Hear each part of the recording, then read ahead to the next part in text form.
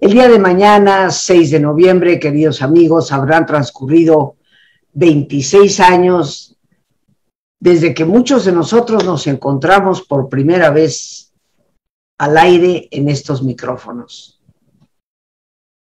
Y durante 24 de esos 26 años, nos escuchábamos a través de la cabina de Radio Centro 1030 en tu radio. Una estación que desafortunadamente dejó de existir como estación hablada, se convirtió en una repetidora del fonógrafo, simplemente, y que sé que muchos de ustedes, como nosotros, extrañamos. Pero la vida, queridos amigos, siempre abre nuevas oportunidades. Y la vida siempre es, como lo he dicho a lo largo de los años, un volver a empezar. Ahora es a través de las redes que tú y yo afortunadamente podemos seguir conectados. Durante estos 26 años hemos transmitido sin parar de lunes a viernes. Yo quiero dar inicio el día de hoy, primero que todo bendiciendo al buen Dios que nos ha dado fortaleza y determinación para continuar en este empeño que creo se debe también en parte a mi propia filosofía de saber para servir. Pero más allá y también bendiciendo a Dios de manera muy importante, agradezco a todos y cada uno de ustedes por ser ese motor de mi propia motivación, la razón por la cual procuramos día con día seguir adelante y aportar lo poco que podemos para lograr estar siempre mejor, mejor y mejor. Tres cosas para el sentido es el tema que hoy quisiera compartir. Y antes de hacerlo, formularte a ti una pregunta. Me encantaría que a través de tu generosidad nos hicieras llegar la respuesta como comentario en el programa.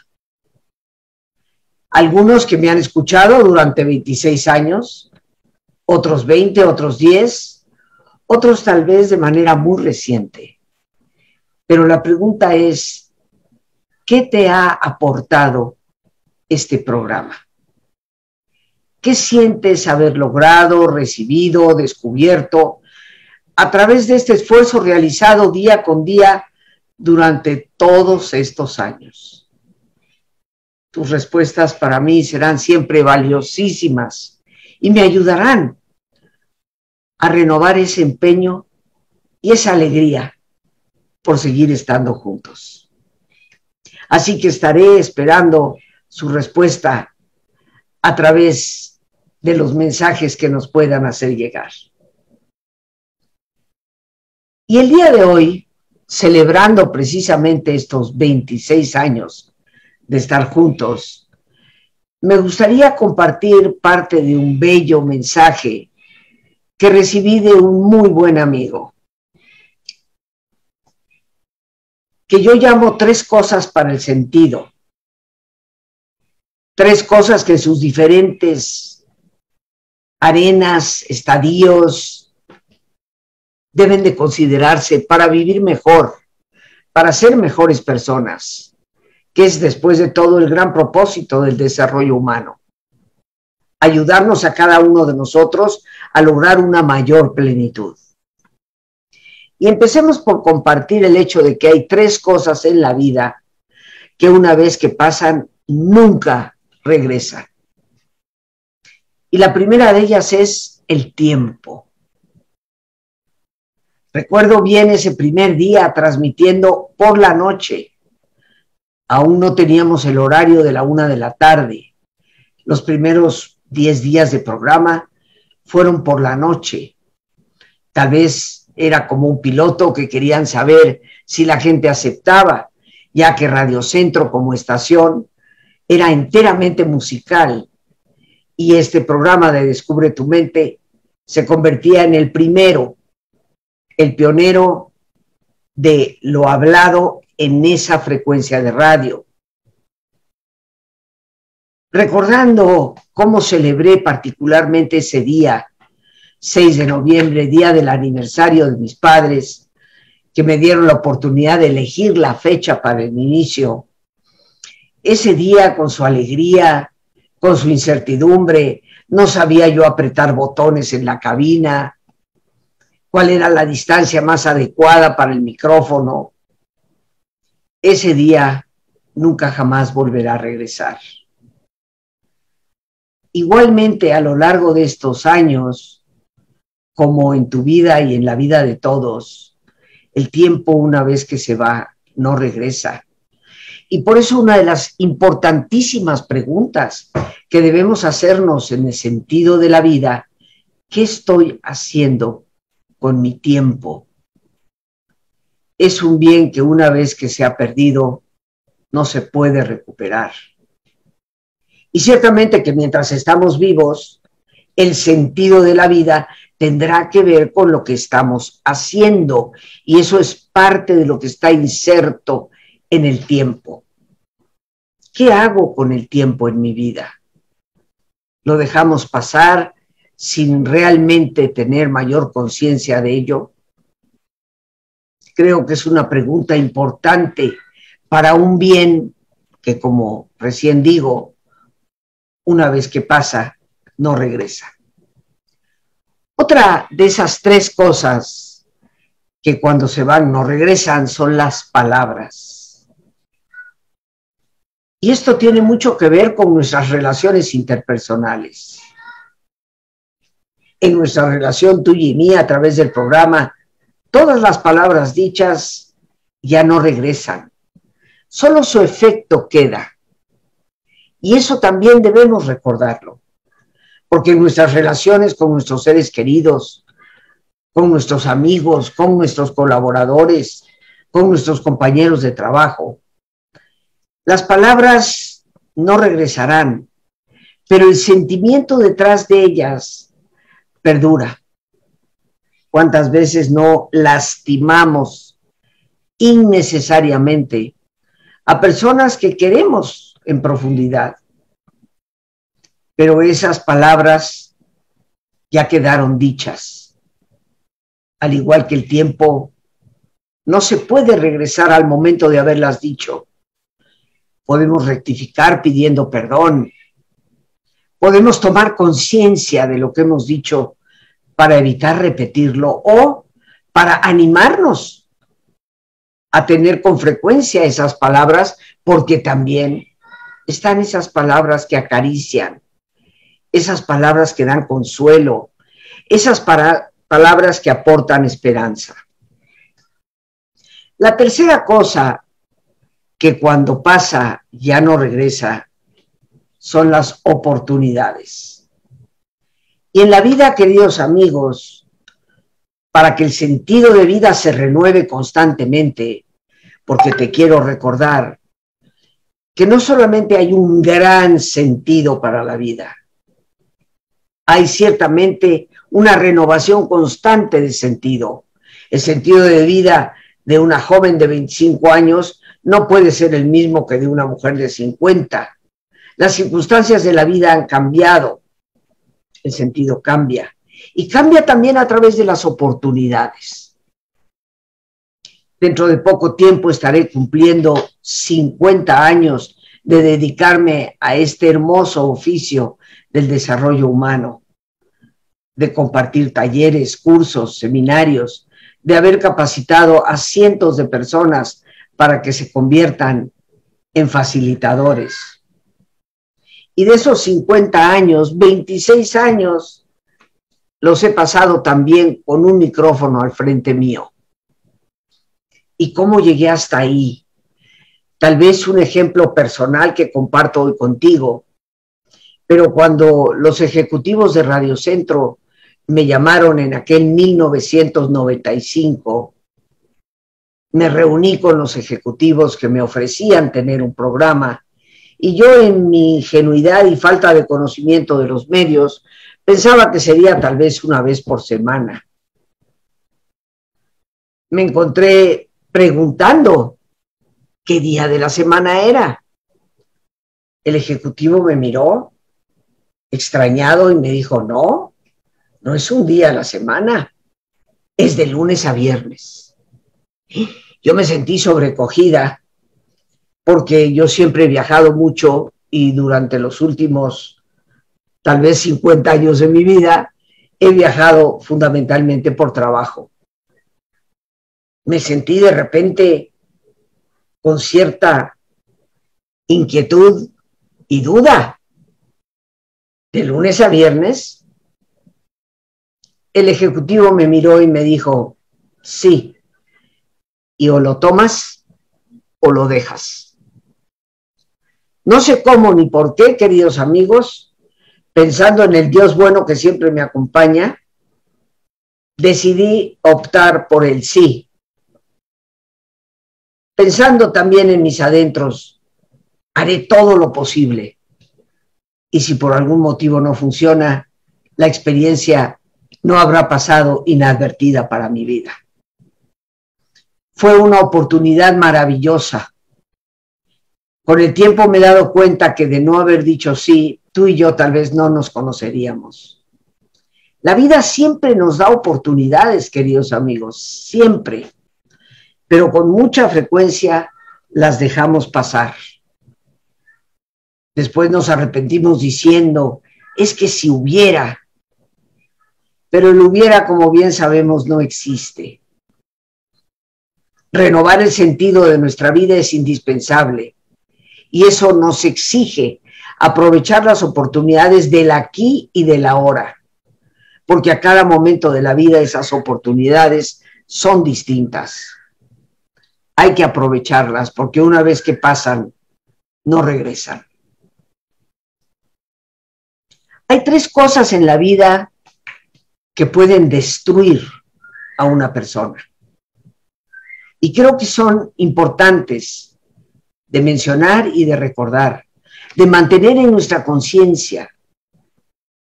La primera de ellas es la rabia. ¿Cuántas cosas a lo largo del tiempo hemos destruido? ¿Hemos lastimado? Por esa rabia que afloró sin habernos detenido a buscar un poco de serenidad, un poco de perspectiva y por supuesto de madurez. Tal vez algunas personas vamos notando con el paso del tiempo que en la medida en que crecemos y supuestamente maduramos aprendiendo de las experiencias tenidas, la rabia parece atemperarse ya no somos tan prontos para responder con esa ira encendida que lastima ciertamente a las personas y nos lastima a nosotros mismos. Porque nos va destruyendo desde adentro, nos va convirtiendo en seres amargados que van cerrándose cada vez más a las posibilidades de vivir con plenitud y con sentido. Otra cosa que destruye definitivamente a una persona es el odio. El odio que surge de dos posibles fuentes.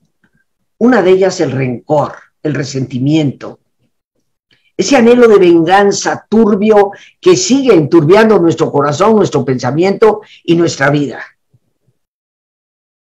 Pero el odio también surge de la envidia, y hay que reconocer que indiscutiblemente el rencor y la envidia como fuentes de odio van destruyéndonos. Hay quienes hablan de envidia buena. ¿Existirá? Tal vez tendríamos que buscarle otro nombre. Cierto es que muchas veces la envidia buena, lo pongo entre comillas, puede motivar a una persona a luchar, esforzarse por alcanzar aquello que el otro ha alcanzado. Pero tristemente en la mayoría de los casos la envidia se torna destructiva. Envidio lo que haces, lo que tienes, lo que sabes. Y en vez de luchar por tenerlo, por saberlo, empiezo a tratar de destruirte a ti. Pero eso a la larga a la persona que realmente destruye es a uno mismo.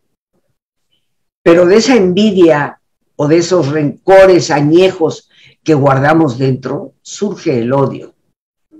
Y el odio es la antítesis, lo totalmente opuesto a lo que es el amor. Y creo firmemente que es la falta de amor la que lentamente ha ido destruyendo nuestra sociedad. Tenemos que poner un alto. Mucho cuidado con ese odio que lo que engendra es rencor o envidia, convirtiéndose en un círculo vicioso que a la larga nos destruye a nosotros mismos. Y la tercera cosa que hoy particularmente quiero mencionar como destructora de la persona es la soberbia. Esa prepotencia con que a veces no nos damos cuenta que tratamos a los demás.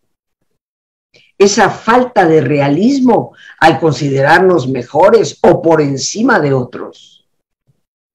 La soberbia, como tal vez en algún momento lo expresé, es un camino seguro al desastre afirmo y reafirmo que la vida es como un proceso que empieza por la humildad. Humildad que nos lleva al esfuerzo. El esfuerzo que nos lleva al éxito. El éxito que nos puede llevar con facilidad y si no lo cuidamos a la soberbia la soberbia que nos ciega infaliblemente, la ceguera que nos hace tropezar, el tropiezo que nos hace caer y un lento pero seguro regreso a la humildad. Ojalá evitemos que ese círculo vicioso continúe repitiéndose una y otra vez a lo largo de nuestra vida. La soberbia indiscutiblemente nos ciega por completo, de una forma u otra. Rabia, odio, soberbia. Rabia que nos amarga, odio que sigue alimentando nuestros rencores y envidias, soberbia que nos desubica por completo de lo que es la realidad. Y vivir fuera de ella es ya en sí mismo algo patológico. Pero también, queridos amigos, hay tres cosas en la vida que nunca debemos perder, porque son, por decirlo así, el sostén, los pilares, los cimientos extraordinarios del sentido de vivir. Comparto contigo que el día 5 de diciembre estaré festejando estos primeros 50 años de dedicarme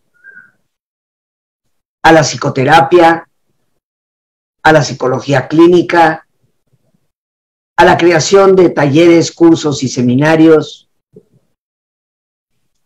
¿Y quién mejor para compartirlo que contigo? Estaremos reuniéndonos vía Zoom de manera virtual ese día, domingo 5 de diciembre, de las 11 de la mañana a la 1 y 30 de la tarde. Quisiera compartir contigo esa alegría y por supuesto el acceso a este evento es gratuito.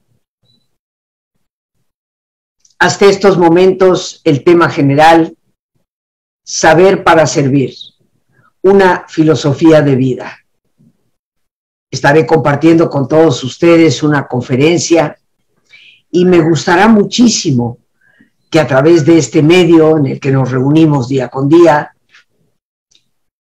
me pudieras compartir tú qué te gustaría escuchar de Rosita festejando sus 50 años de este oficio. ¿Qué cosas de mí quisieras escuchar? el que me respondas a la pregunta de qué manera este programa te ha servido, te ha sido útil, será parte de esa inspiración para mí. Así que comunícate y por supuesto te estaré esperando para celebrar juntos. Es importante llamar al teléfono 55 37 32 9104 para poder apartar tu lugar. Porque a pesar de ser vía virtual, pues el salón de lo virtual también tiene límites. Así que ojalá te apuntes cuanto antes, te estaremos indudablemente esperando. Desde ahora te agradezco tu presencia, tu ánimo y esa motivación que siempre me das. Retomando nuestro tema de hoy, tres cosas para el sentido. Hemos visto ya, queridos amigos, pues tres cosas en la vida que una vez que pasan nunca regresan. El tiempo, las palabras, las oportunidades tres cosas en la vida que nos pueden llegar a destruir. La rabia, el odio, la soberbia. Pero ya decíamos, hay tres cosas en la vida que nunca se deben perder. Y creo firmemente son los cimientos del sentido de la vida. Y el primero de ellos es la fe.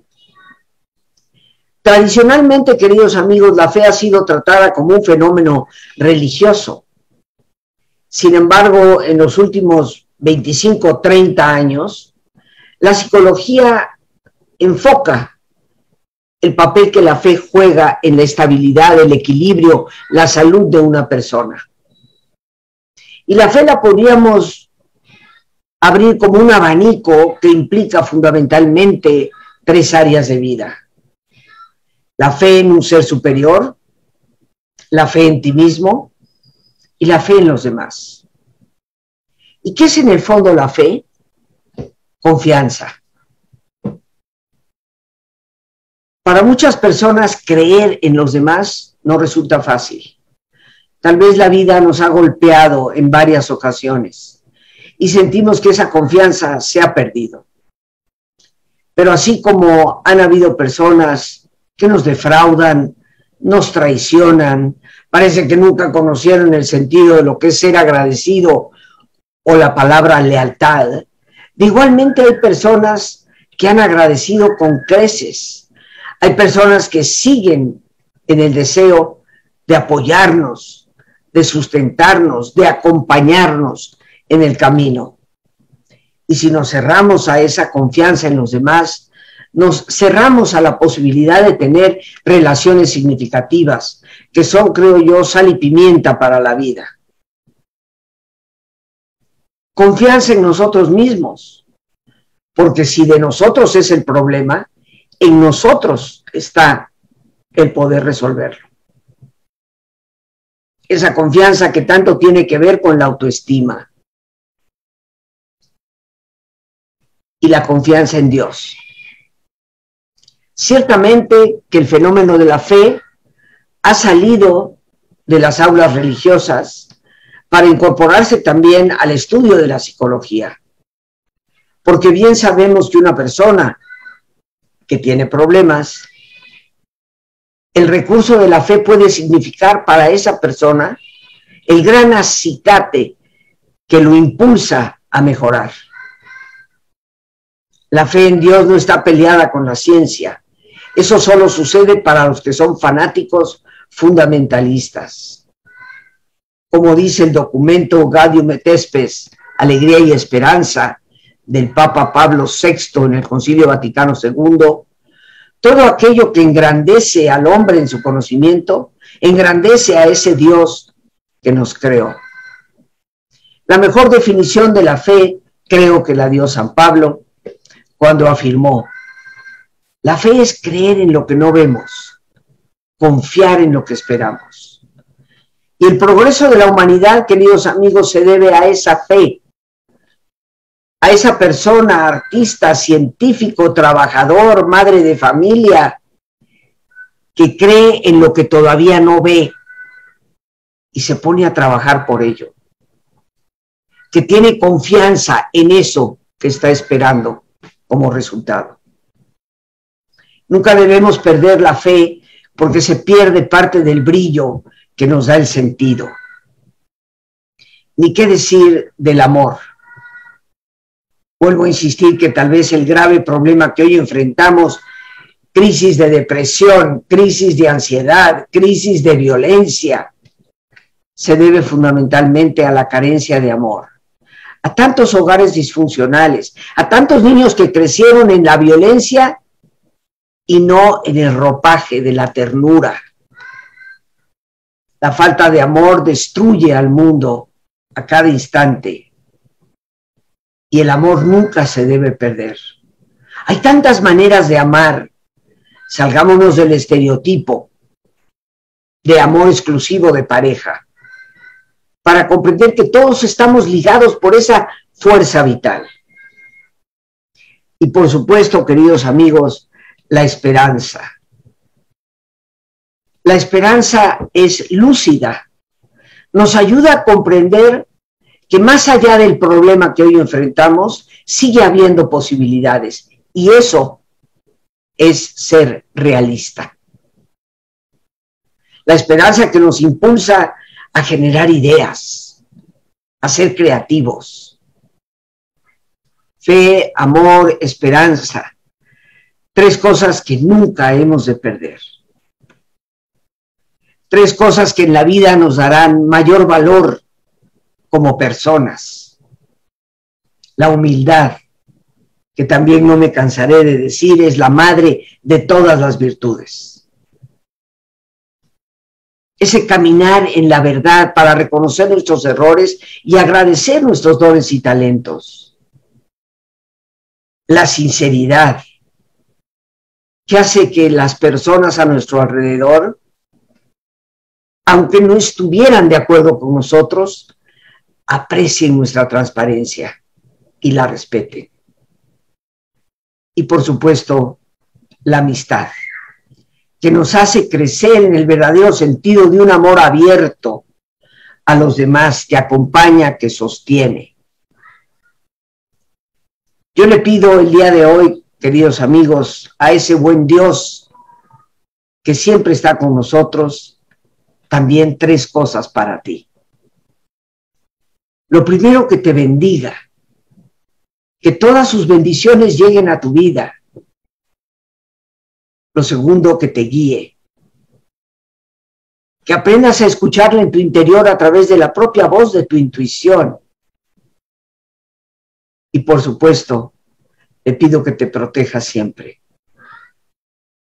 que te dé esa vida en abundancia y que me permita a mí seguir gozando de tu presencia. Por hoy, celebrando estos primeros 26 años de estar en los micrófonos, las gracias a Dios por este espacio que nos ha permitido compartir las gracias a tantas personas que a lo largo del camino han sido parte fundamental, Sandra Ortiz, Lupita Martínez y por supuesto nuestra extraordinaria productora Lorena Sánchez. Gracias a tantos invitados que por aquí han pasado y siguen pasando. Y gracias a ti, el más importante de todos. Gracias por tu paciencia al escucharme y por ayudarme siempre a crecer contigo renovando día con día mi propio sentido de vida. Que Dios te bendiga.